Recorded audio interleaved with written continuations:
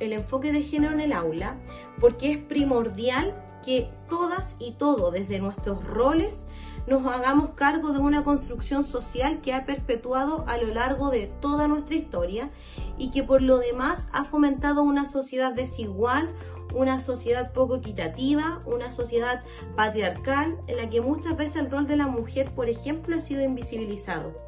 Por ende, es importante que desde nuestro rol docente podamos aportar con instancia en el que se reflexionen sobre estas temáticas y que también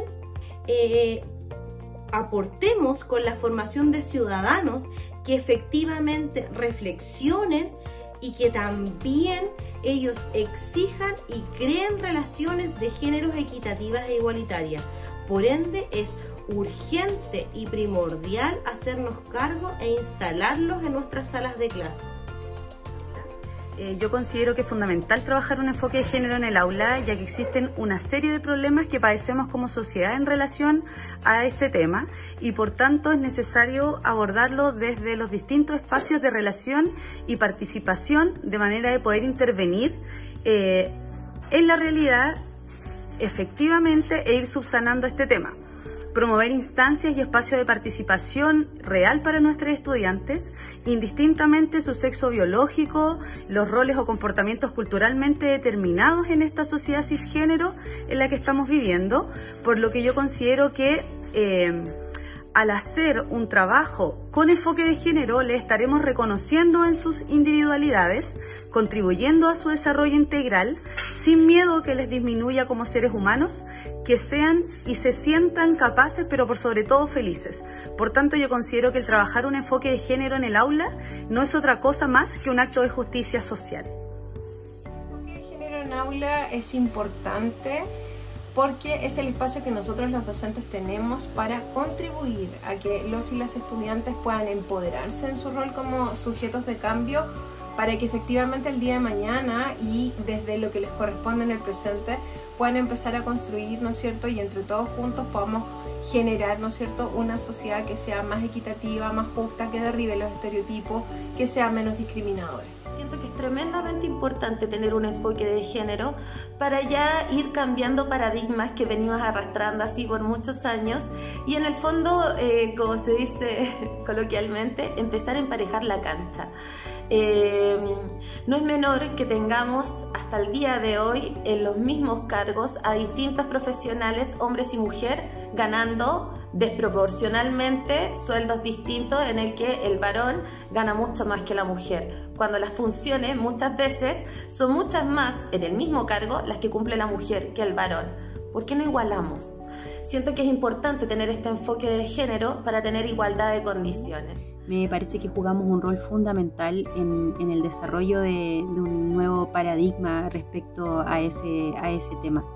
La educación juega un rol importantísimo en la formación de, de personas, no tan solo en relación al conocimiento, sino que también al enriquecer su cultura, a la, adquisición de una nueva mentalidad. Por lo tanto, si nosotros realmente queremos generar un cambio, eliminar los estereotipos o, hacernos conscientes de ellos, porque muchas veces no somos conscientes de cuánto estereotipamos en relación a los géneros,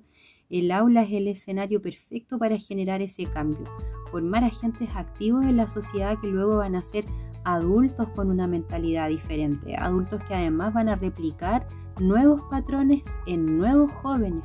Así que mi, opinión respecto a eso es que los profesores de verdad tenemos una oportunidad gigante de generar un cambio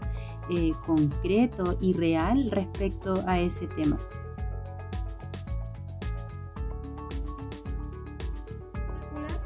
Uno de los estereotipos que mayoritariamente me he encontrado está focalizado a una construcción social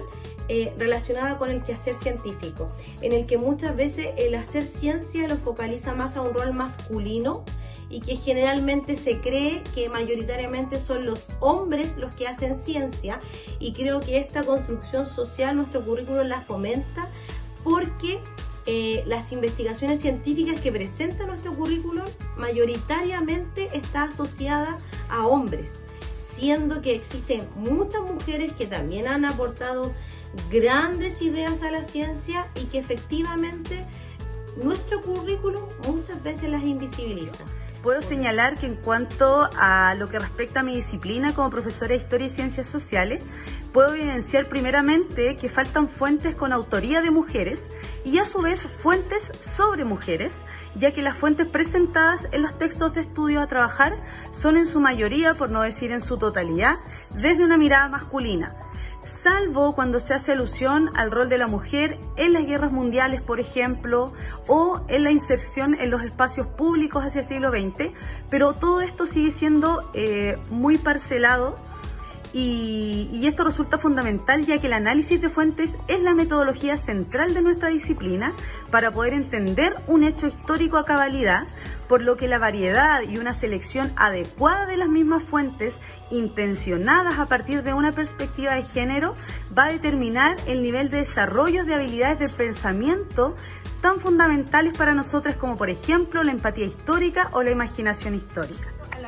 He encontrado muchísimos eh, sesgos ¿ya? Eh, y enfoques que tienen que ver, que está súper instalado el mundo masculino, los héroes, eh, los personajes históricos, los procesos históricos son relatados donde pareciera ser que los hombres construyen la historia y las mujeres, ¿no cierto?, están en la casa y el cuidado de los hijos. cuando se menciona algún episodio que sea así como muy excepcional, las mujeres pareciera ser que están como siempre al alero de los hombres o bien eh, ayudan y generan acciones para que los hombres sean los victoriosos. Ya el sesgo está instalado definitivamente. Bastantes, bastantes en verdad y sobre todo de los cursos más pequeños hasta los más elevados eh, empezando por las imágenes, las imágenes que están la niña siempre bien compuesta, ¿no es cierto? Siempre bien peinada, bien presentada, con su vestido, qué sé yo. Y los varones pueden jugar a la pelota. La niña siempre siendo bien señorita, teniendo un lenguaje adecuado a, a todas las situaciones comportándose, ¿no es cierto? Y el varón pudiendo tener libertad de expresión.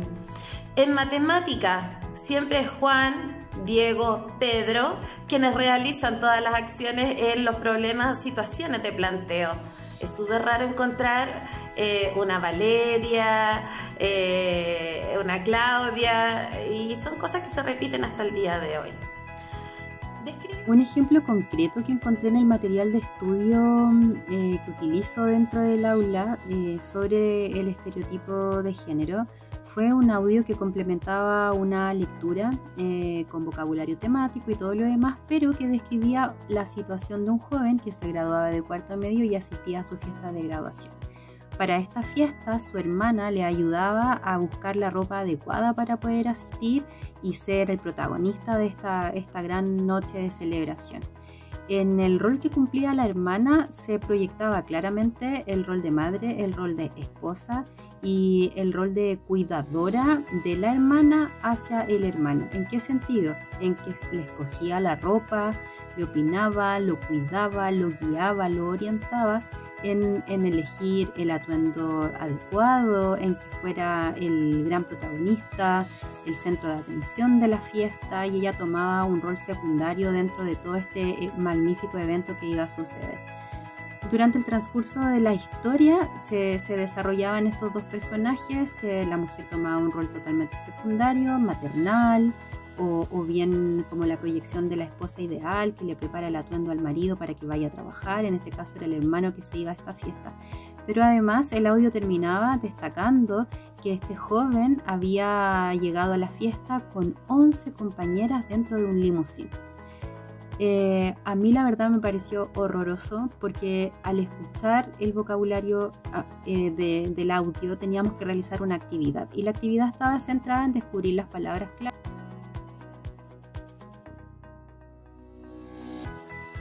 Una práctica pedagógica eh, está enmarcada en la asignatura de Ciencias para la Ciudadanía, que es la que hice esta semana, en la que estamos trabajando el concepto de zonas de sacrificio y en una instancia de, la clase es que discutimos eh, o analizamos mayoritariamente el rol de la mujer dentro de estas zonas de sacrificio. Ya que según diversos estudios que habíamos encontrado, eh, se veía el hombre mayoritariamente más perjudicado en esta zona de sacrificio, pero que efectivamente con ayuda de noticias y de preguntas orientadoras eh, llegábamos a la conclusión que efectivamente esta, este daño eh, hacia mayoritariamente a los hombres se daba porque efectivamente la mujer había sido completamente invisibilizada dentro de estas zonas. Puedo señalar, como lo dije anteriormente, que es fundamental el derribar estos estereotipos y sesgos de género. por ello es que yo eh, mis clases las planifico procurando incorporar momentos que me permitan analizar algunas creencias asociadas a estereotipos, intención actividades que busquen romper desde el cuestionamiento la visión eh, patriarcalmente aprendida e impuesta, ¿cierto? Eh, ¿Cómo lo hago esto? Por medio de elección de fuentes de información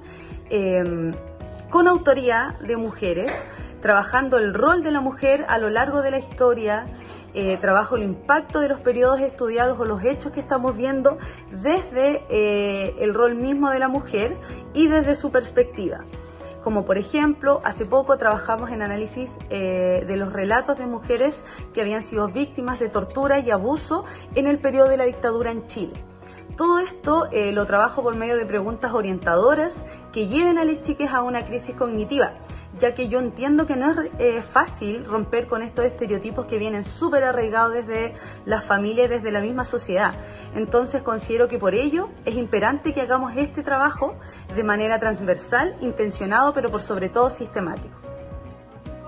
Eh, cuando se analizan las transformaciones sociales que ocurren a principios del siglo XX, eh, los chicos eh, lo que hicieron ahí fue que efectivamente empezaron a investigar, ¿no es cierto?, el movimiento feminista y finalmente a tratar de analizar el discurso que las mujeres tenían para efectivamente contrarrestar lo que se decía en las fuentes primarias, ¿no es cierto?, en fuentes de la época,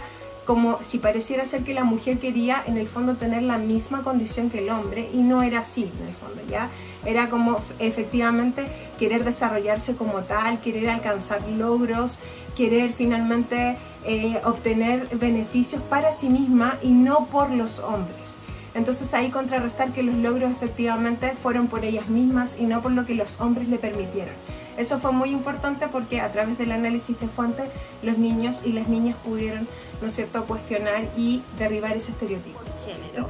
Bueno, nosotros en la escuela hemos implementado durante todo este año pedagogía de las emociones o contención eh, emocional, le llamamos, en la cual vemos distintos temas a partir de, no sé si manejan el término CEL, que es Social Emotional Learning, perdón por mi inglés, en el cual hablamos de los estereotipos y esto a partir de distintas cosas que se han dado y hemos evidenciado, sobre todo en pandemia, de que los niños no quieren encender la cámara y sobre todo las niñas al decirle, mi amor, prende la cámara para verla, ay profesora, es que estoy chascona, es que estoy recién levantada y que esto que lo otro. Los varones la verdad es que si uno les dice da lo mismo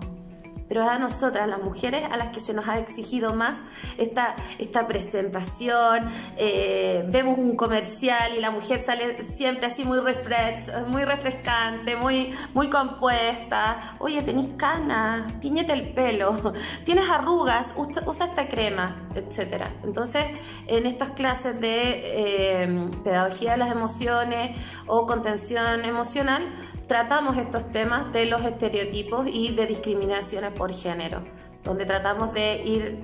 eh, expresándole a nuestros,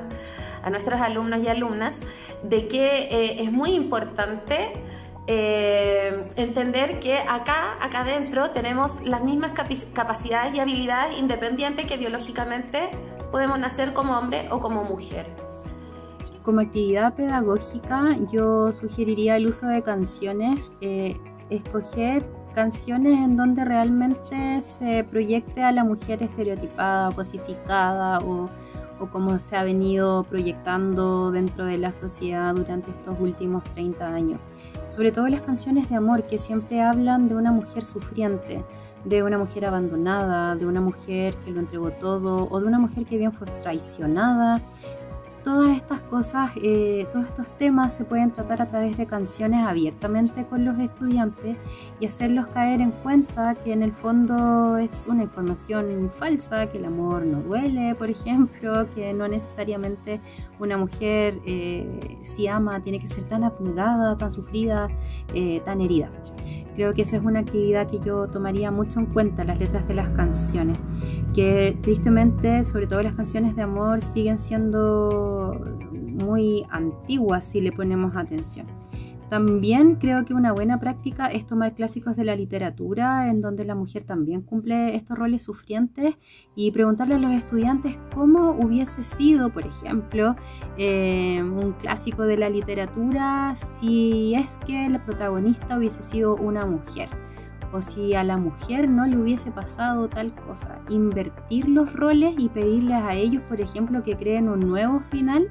eh, de un clásico literario eh, a partir de hacer una inversión de, roles estereotipados. ¿Qué hubiese pasado si la mujer fuese la heroína? ¿Qué hubiese pasado si fuese el hombre el que sufre por amor? Que eso también es interesante de abordar. Eh, muchas veces al hombre se le proyecta como el fuerte, como el que no llora, como y también eso es súper es súper dañino. Así que es una, actividad que yo sugeriría que sí tiene bueno, buen efecto.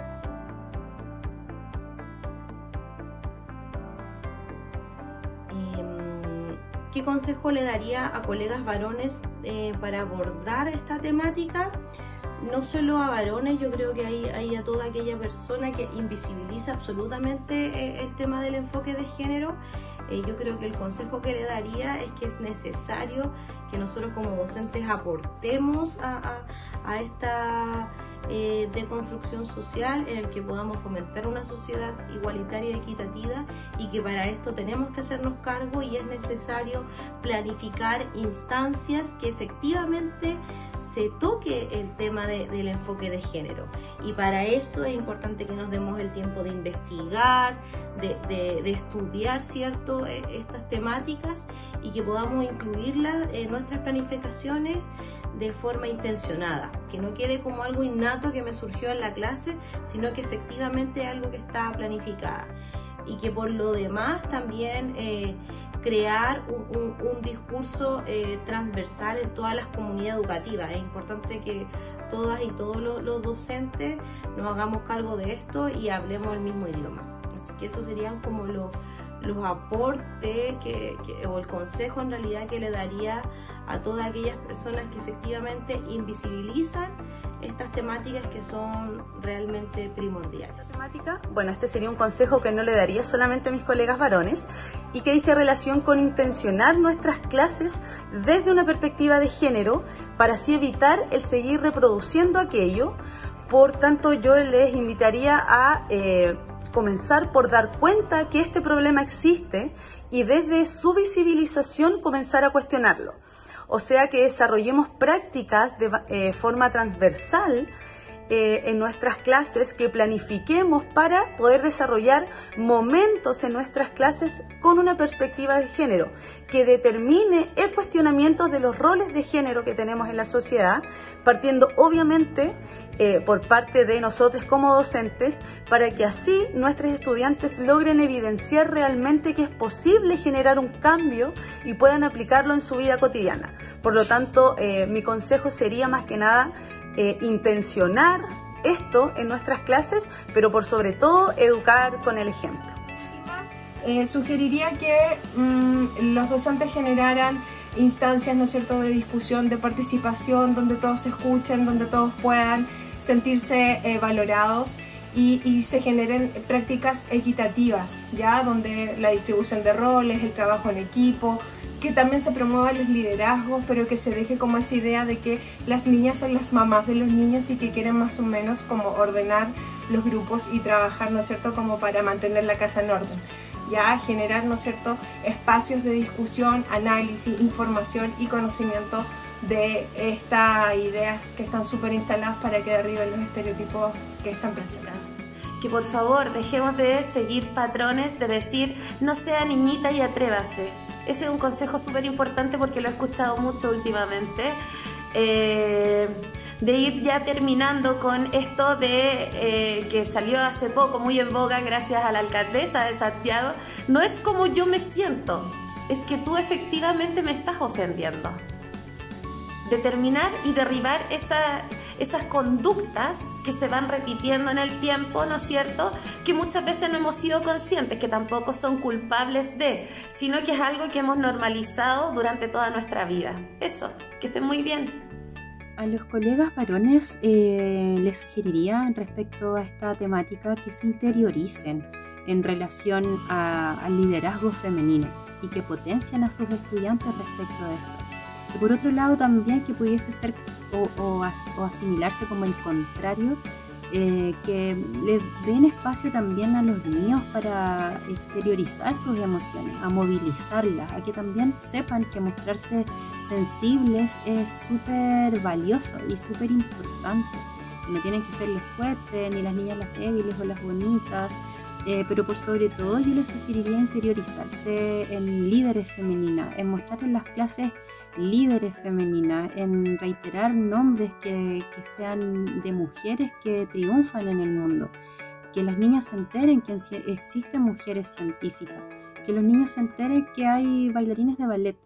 en el fondo generar espacios para hablar de, personas que ya funcionan en el mundo habiendo hecho un cambio de roles y que nosotros podemos tomarlos como inspiración.